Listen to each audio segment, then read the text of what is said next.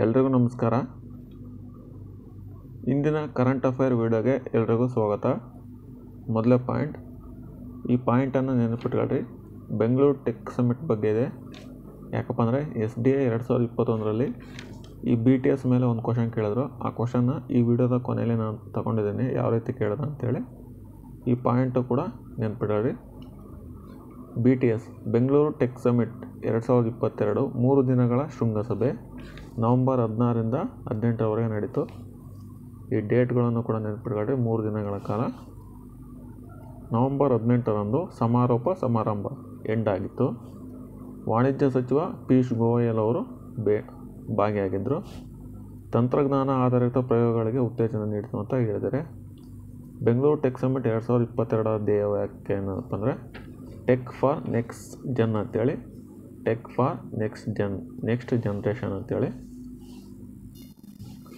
ಪ್ರಧಾನಿ ನರೇಂದ್ರ ಮೋದಿ ಅವರು ವರ್ಚುವಲ್ ಮುಖಾಂತರ ಬಿ ಟಿ ಎಸ್ ಎರಡು ಸಾವಿರದ ಇಪ್ಪತ್ತೆರಡನ್ನು ಉದ್ಘಾಟನೆ ಮಾಡ್ತಾರೆ. ಯಾಕಪ್ಪ ಅಂದರೆ ಆ ಟೈಮಲ್ಲಿ ಅವರು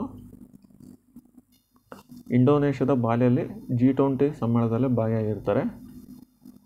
ನೆಕ್ಸ್ಟ್ ಪಾಯಿಂಟ್ ನೋಡಿದ್ರೆ ಭಯೋತ್ಪಾದನೆಗೆ ಹಣಕಾಸು ತಡೆ ಸಮ್ಮೇಳನ ಸ್ಥಳ ನಡೀತಿರೋದು ನೋಡಿ ನವದೆಹಲಿಯಲ್ಲಿ ಎರಡು ದಿನಗಳ ಕಾಲ.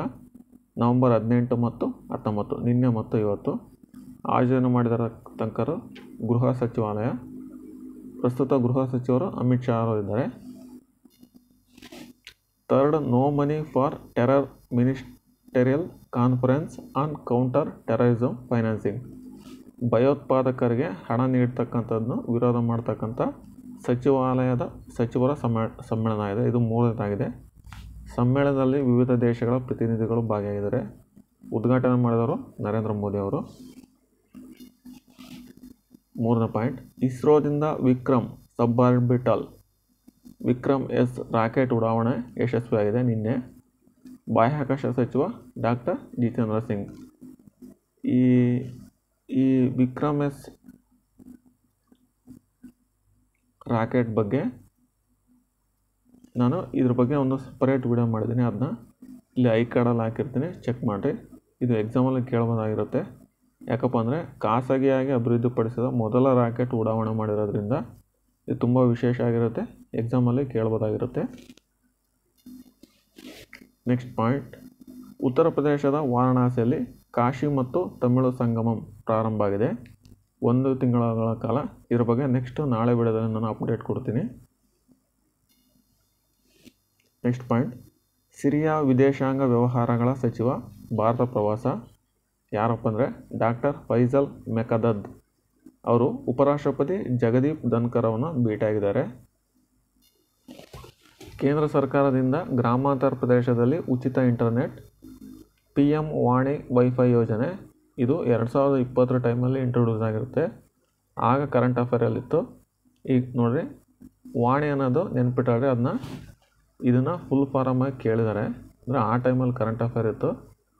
ಬಟ್ ಈಗ ಕೇಳೋ ಸಂಭವನೀಯತೆ ಕಡಿಮೆ. ಆದರೆ ಈ ಥರ ಒಂದು ನ್ಯೂಸ್ ಬಂದಿದ್ದರಿಂದ ನಾನು ಅದನ್ನ ಕನ್ಸಿಡರ್ ಮಾಡಿದ್ದೀನಿ ವಾಣಿ ಅಂದರೆ ವೈಫೈ ಆ್ಯಕ್ಸಸ್ ನೆಟ್ವರ್ಕ್ ಇಂಟರ್ಫೇಸ್ ಅಂತೇಳಿ.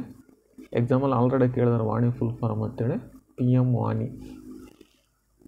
ದೇಶದಾದ್ಯಂತ ಹರಡಿರುವ ಸಾರ್ವಜನಿಕ ದತ್ತಾಂಶ ಕಚೇರಿಗಳ ಪಿ ಡಿ ಓಸ್ ಅಂತ ಕರೀತಾರೆ. ಪಬ್ಲಿಕ್ ಡಾಟಾ ಆಫೀಸಸ್ ಮೂಲಕ ವೈಫೈ ಸೇವೆಯನ್ನು ಒದಗಿಸಲಾಗ್ತದೆ.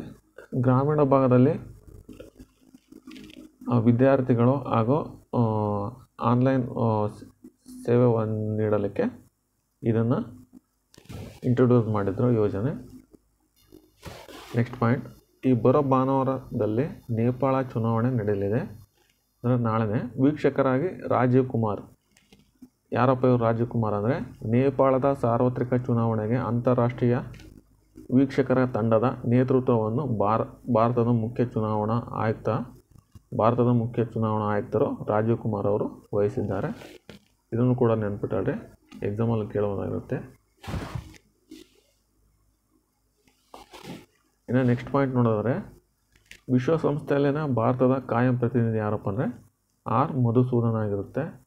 ಈ ಉನ್ನತ ಹುದ್ದೆಗಳಲ್ಲಿ ಯಾರ್ಯಾರು ಇರ್ತಾರಲ್ಲ, ಅವರ ಹೆಸರುಗಳು ಕೂಡ ನೀವು ಆರ್ಟ್ ನ್ಯೂಸಲ್ಲಿ ಬರ್ತಾ ಇರ್ತಾರಲ್ಲ, ಅವ್ರನ್ನೆಲ್ಲ ನೀವು ನೆನಪಿಟ್ಕೋಬೇಕಾಗಿರುತ್ತೆ ಇವಾಗ ವಿದೇಶಾಂಗ ಕಾರ್ಯದರ್ಶಿಗಳು ಅಂತ ಕೇಳ್ತಾರೆ, ಅವ್ರನ್ನೂ ಕೂಡ ಕೇಳಿದ್ದಾರೆ. ರಕ್ಷಣಾ ಕಾರ್ಯದರ್ಶಿ, ಅವರೆಲ್ಲ ಹೆಸರು ಇರುತ್ತೆ. ನಮ್ಮ ಕರ್ನಾಟಕ ರಾಜ್ಯ ಚುನಾವಣಾ ಆಯೋಗದ ಮುಖ್ಯ ಚುನಾವಣಾ ಆಯುಕ್ತರಾಗಿರೋದಾರಪ್ಪ ಅಂದರೆ ಡಿ ಬಿ ಬಸವರಾಜ್ ಅವರಿದ್ದಾರೆ ಇನ್ನು ನೆಕ್ಸ್ಟ್ ಪಾಯಿಂಟ್, ರಾಜ್ಯ ಸರ್ಕಾರಿ ನೌಕರರ ವೇತನ ಪರಿಷ್ಕರಣೆಗೆ ರಚಿಸಲಾಗಿರುವ ಈ ಏಳನೇ ವೇತನ ಆಯೋಗದ ಅಧ್ಯಕ್ಷರಾಗಿ ನಿವೃತ್ತ ಮುಖ್ಯ ಕಾರ್ಯ, ಕಾರ್ಯದರ್ಶಿ ಕೆ. ಸುಧಾಕರ್ ರಾವ್ ಹೆಸರು ನೆನಪಿಟ್ಟಾರೆ ಮತ್ತು ಮೂರು ಸದಸ್ಯರನ್ನು ನೇಮಕ ಮಾಡಲಾಗಿದೆ. ಇನ್ನು ಎಸ್ ಡಿ ಎ ಎರಡು ಸಾವಿರದ ಇಪ್ಪತ್ತೊಂದರಲ್ಲಿ ಬಿ ಟಿ ಎಸ್ ಬಗ್ಗೆ ಕೇಳಿರೋ ಕ್ವಶನ್ನ ನೋಡೋದಾದರೆ ಬೆಂಗಳೂರು ತಾಂತ್ರಿಕ ಶೃಂಗ ಎರಡು ಸಾವಿರದ ಇಪ್ಪತ್ತಕ್ಕೆ ಸಂಬಂಧಿಸಿದಂತೆ ಈ ಕೆಳಗಿನ ಹೇಳಿಕೆಗಳನ್ನು ಪರಿಗಣಿಸಿ. ಮೊದಲ ಹೇಳಿಕೆ, ಈ ಶೃಂಗಸಭೆಯು ವಾಸ್ತವಿಕವಾಗಿ ವರ್ಚುವಲಿ ಎರಡು ಸಾವಿರದ ಇಪ್ಪತ್ತರ ನವಂಬರ್ ಹತ್ತೊಂಬತ್ತರಿಂದ ಇಪ್ಪತ್ತೊಂದರವರೆಗೆ ಜರುಗಿತು. ನಾನು ಆಗಲೇ ಹೇಳಿದ್ನಲ್ಲ, ಡೇಟ್ ಕೂಡ ನೆನಪಿಟ್ಟಾಡ ಅಂತ. ನವಂಬರ್ ಹದಿನಾರು, ಹದಿನೇಳು, ಹದಿನೆಂಟು ಅಂತ. ನೋಡಿ, ಇಲ್ಲಿ ಕೂಡ ಡೇಟ್ ಕೊಟ್ಟಿದ್ದಾರೆ. ಹಾಗಾಗಿ, ಇನ್ನು ಎರಡನೇ ಪಾಯಿಂಟ್, ಪ್ರಧಾನಮಂತ್ರಿ ಶ್ರೀ ನರೇಂದ್ರ ಮೋದಿ ಅವರು ವಿಡಿಯೋ ಕಾನ್ಫರೆನ್ಸ್ ಮೂಲಕ ಶೃಂಗಸಭೆಯನ್ನು ಉದ್ಘಾಟಿಸಿದರು.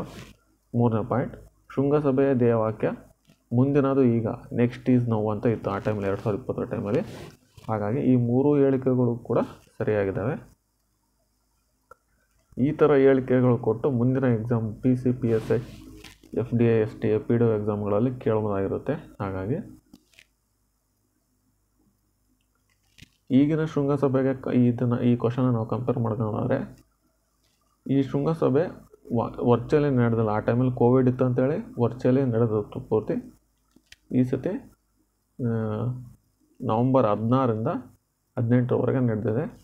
ಇನ್ನು ವಿಡಿಯೋ ಕಾನ್ಫರೆನ್ಸ್ ಮೂಲಕ ಪ್ರಧಾನಿಯವರು ಯಾಸ್ ಇಟ್ ಇಸ್ ಎರಡು ಸಾವಿರದ ಇಪ್ಪತ್ತರ ಥರನೇ ಶೃಂಗಸಭೆನ ಉದ್ಘಾಟನೆ ಮಾಡ್ತಾರೆ.